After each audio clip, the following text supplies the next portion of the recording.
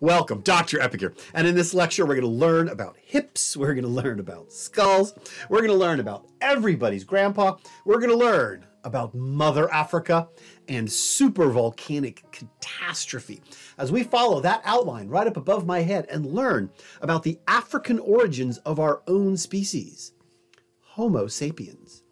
Now, the story so far goes a little something like this. Homo erectus evolves in East and Southern Africa and then spreads out across the Old World in the erectus radiation. Homo erectus goes to Europe, those guys become Neanderthals. Homo erectus goes to the islands of Indonesia, those guys uh, become hobbits.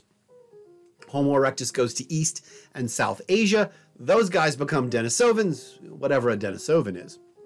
But there are still Homo erectus in Africa. And the hard evolutionary pressures of the African savanna are still driving evolutionary anatomical change. And we know that that change will lead to modern Homo sapiens because we've got the fossils and we've got the DNA evidence to prove that it does. But first, we're going to talk about broken skulls.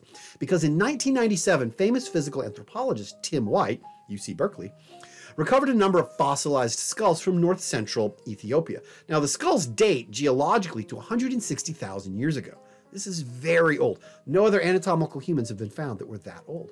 Now, the skull that's right up above should look quite familiar. It was a male skull that was recovered uh, from his site, and it should should seem pretty familiar because except for the cracks and the big hole in the side, it's pretty much the exact same skull that you or I have. This is a Homo sapiens skull a brain that grew up and out, a reduced face, a small gracile mastoid. That is a Homo sapiens skull.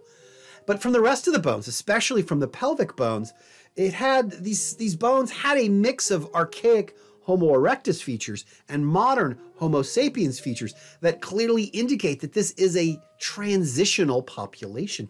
And from this mix of features, Tim White dubbed the species Homo sapiens idaltu. Now, it's the idaltu because it still has some of these older erectus features, but it's really the Homo sapiens part that's most important. And particularly important were the pelvises that he recovered back in 97. Now, there is the Homo sapiens idaltu pelvis, is it right in the middle, with the Homo erectus female pelvis on the left and the modern Homo sapiens pelvis uh, right up above me.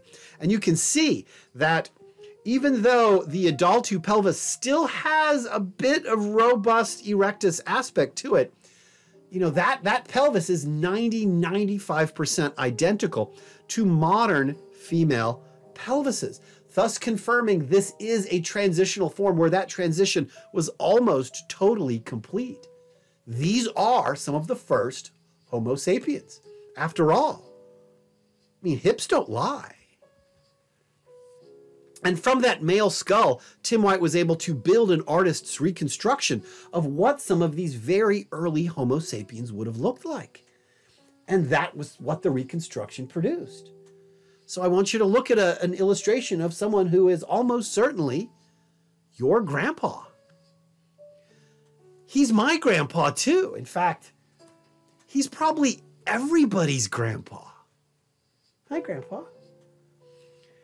And it's this, the find in 97, along with this genetic evidence that we're going to talk about in a bit, this ended a long standing debate within human evolution. The debate was between a sort of candelabra theory where, you know, Homo sapiens evolved across the old world as a whole, or an out of Africa theory where Homo sapiens evolved in Africa and then spread out it ended, it completely ended that debate. We, as a species, Homo sapiens, we all come from Mother Africa. We came out of Africa at some point between 60 and 70,000 years ago. The origin point of modern humans, Homo sapiens, is in East Africa, probably somewhere in or around the Ethiopian plateau. And again, what is exactly driving these gracile features of modern Homo sapiens, and it probably is the environment. Again, Africa is hot. It is flat. It's going to emphasize mobility.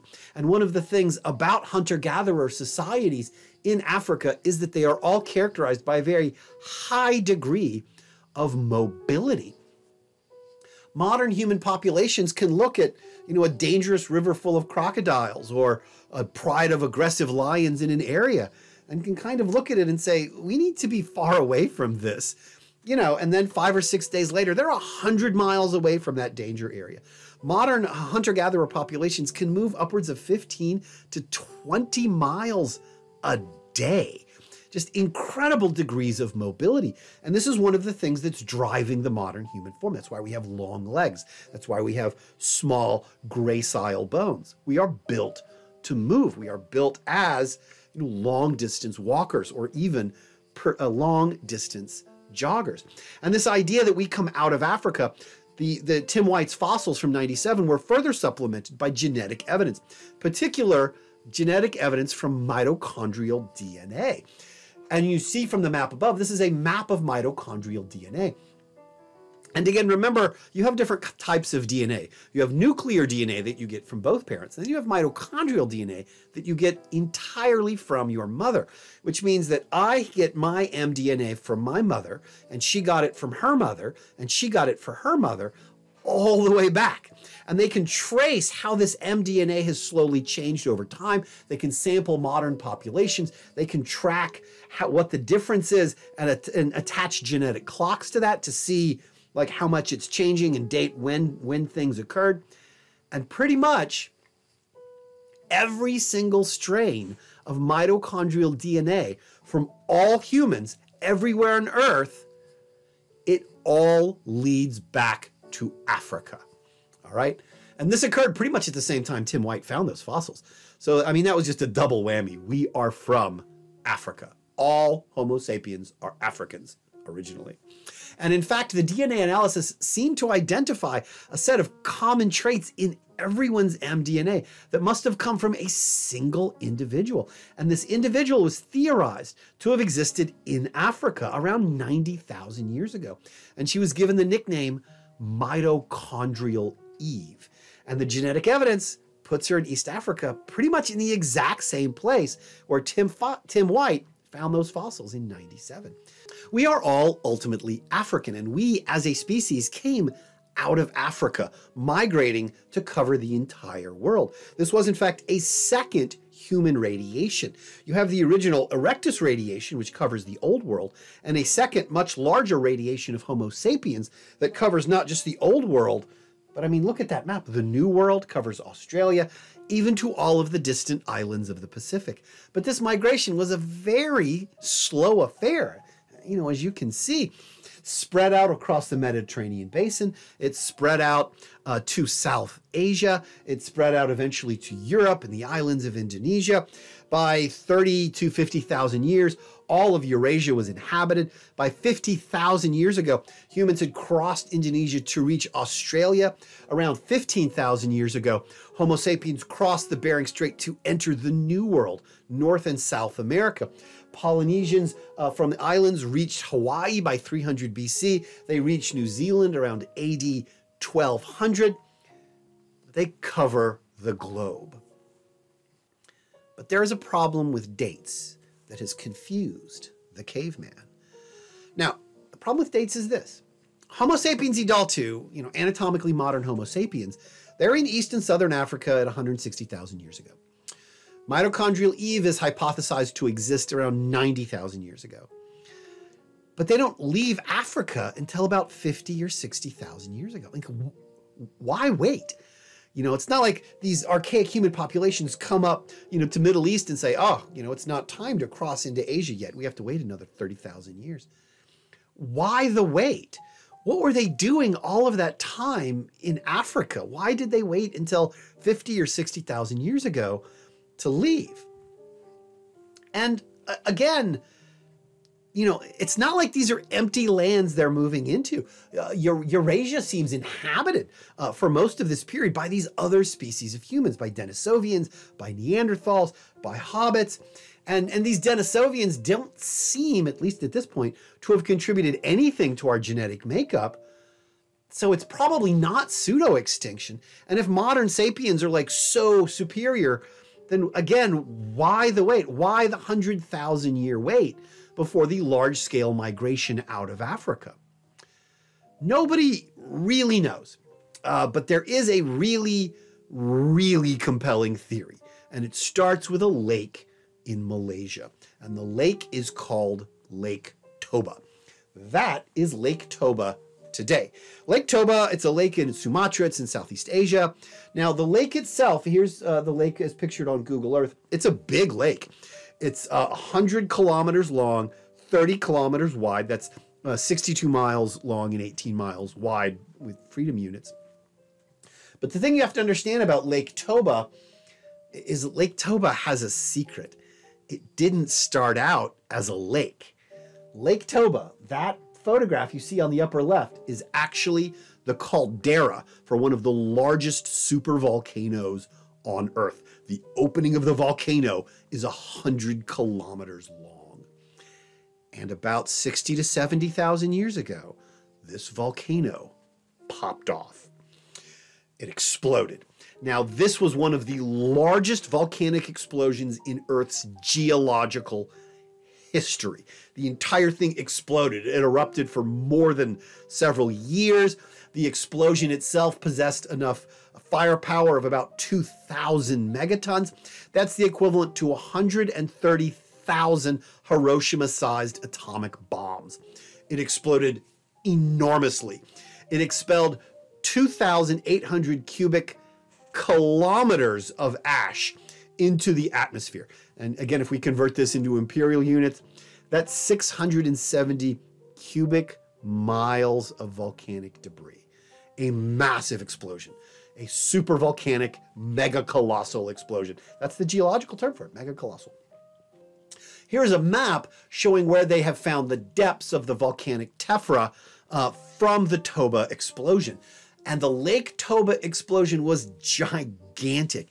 It seems to have sterilized most of South Asia. It dropped over six meters of ash on all of what is now China, on all of what is now India.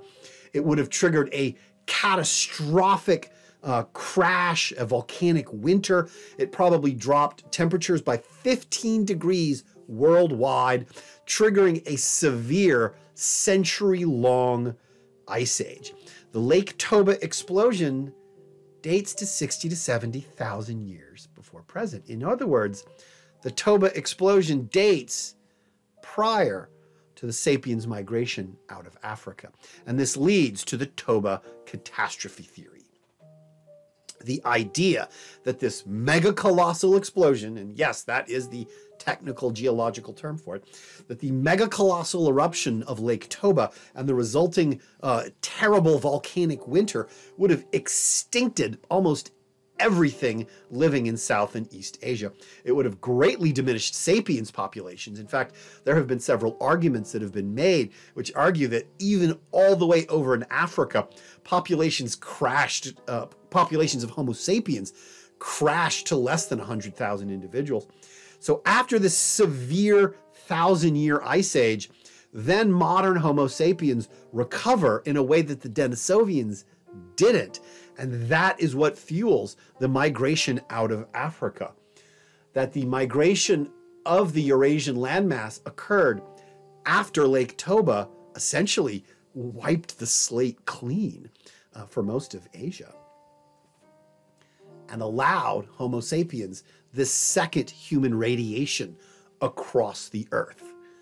And of course, the Neanderthals wouldn't have been bothered by volcanic winter. They're built for winter. And the wind patterns would have actually moved this volcanic cloud to the west. And the hobbits are located to the east of this eruption. So even though they're pretty close to it, the cloud would have traveled around the earth before it reached Homo floresiensis. But the Denisovians, oof, it either killed them all um, or it simply reduced their populations to such small levels uh, that they were simply no match for the migrating Homo sapiens out of Africa. And that's where we are today, the dominant human species on the planet. For reasons that we don't understand, the Neanderthal numbers declined and they went extinct. For reasons we don't understand, the Homo floresiensis populations declined and they went extinct, even though they outlived the Neanderthals. And then we spread across the planet and then began to specialize into our own ancestral subtypes. And there we go the story of the modern humans. And now we know about where we come from. And what we're going to talk about next is how we die. And I will see you there.